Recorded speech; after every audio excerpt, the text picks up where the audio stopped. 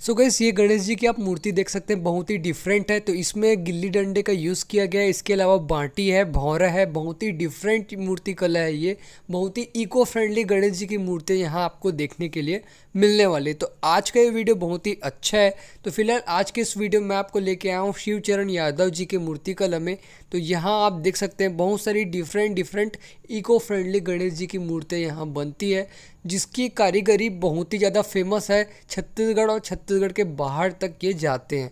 तो सभी को मैं आपको डिटेल से बताने वाला हूँ तो वीडियो में आप बने रहें। साथ में अगर आप चैनल में पहली बार आए हैं तो चैनल को सब्सक्राइब करके बेल आइकन को प्रेस कीजिए, ताकि ऐसे इंटरेस्टिंग वीडियो मैं हमेशा तक लाने की कोशिश करता रहूँगा।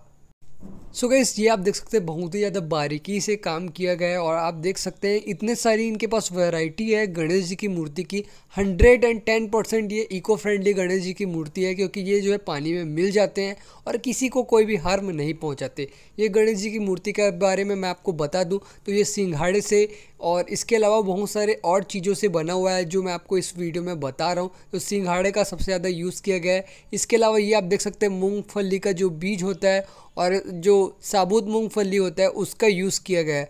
और इसके अलावा ये आप देख सकते हैं, बहुत ही डिफरेंट डिफरेंट टाइप्स की आपको गणेश जी की मूर्तियाँ देखने के लिए मिल जाएगी। ये चावल से बनी हुई गणेश जी की मूर्ति है तो बहुत ही डिफरेंट टाइप्स की मूर्तियाँ आपको यहाँ देखने के लिए मिल जाएगी।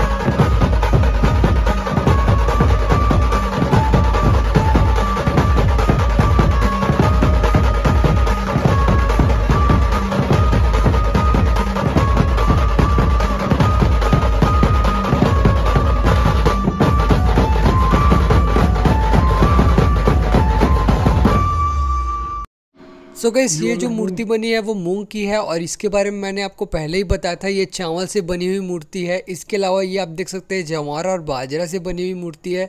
इसके अलावा ये जो मूर्ति आप देख रहे हैं वो मटर और अरहर से बनाई गई है। इसके अलावा और भी मैं आपको दिखा दूँ तो ये फल फूल और सब्ज़ी के बीज से बनी हुई गणेश जी की मूर्ति है। इसके अलावा ये तो मैंने आपको पहले ही बताया था, गिल्ली डंडा हो गया, इसके अलावा कंचा जो बाटी जो होता है छत्तीसगढ़ी में, जिसे बाटी कहा जाता है, और भौरे से बनी हुई मूर्ति है, और इसे जो है छत्तीसगढ़ के जो खेल महोत्सव जो होता है, उसमें इसको रिप्रेजेंट किया जाता है। तो ये जो है बहुत ही ज़्यादा स्पेशल है, और छत्तीसगढ़ को रिप्रेजेंट करके इसे बनाया गया है। ये जो है छत्तीसगढ़ ओलंपिक में जाएगा और छत्तीसगढ़ ओलंपिक को रिप्रेजेंट करने के लिए इस मूर्ति को निर्माण किया गया है। तो ये आप देख सकते हैं, छत्तीसगढ़ ओलंपिक को रिप्रेजेंट करेगा ये मूर्ति और इसको आप देख सकते हैं, ये मौली धागा से बना हुआ मूर्ति है और ये आप देख सक, ये मूर्ति मोतियों से बनी हुई है। बहुत ही ज़्यादा शाइनिंग करते हुए आपको नज़र आएगा।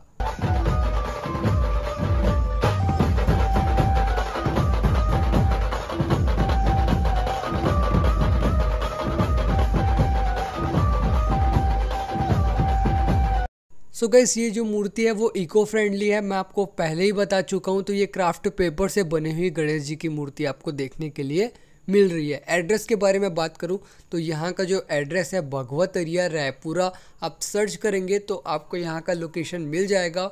और आपको वीडियो कैसा लगा आप मुझे कमेंट करके ज़रूर बता सकते हैं। आपका बहुमूल्य समय देने के लिए धन्यवाद। I hope you like this video thank you